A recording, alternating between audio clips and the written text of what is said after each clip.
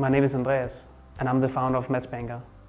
In this video, I'll show you some of my insights on the loan market and I'll show you how you can use Matchbanker to find the best loan online. So let's get to it.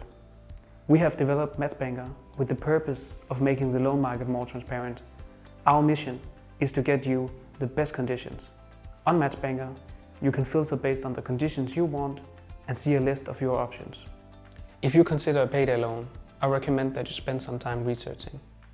A payday loan is often an expensive solution to a temporary problem. And the things you should be careful of of a payday loan is 1. What is the interest rate?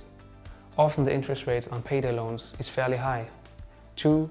How much money do you want to borrow? General rule is that the more you borrow, the lower the APR. And that's because the startup fee is the same no matter if you take a large loan or a small loan. And three, what are the conditions? Some loan providers offer unemployment insurance, which means that you do not have to pay for the loan the month you are unemployed. I hope you got some new knowledge in this video. Look at the list and see your options.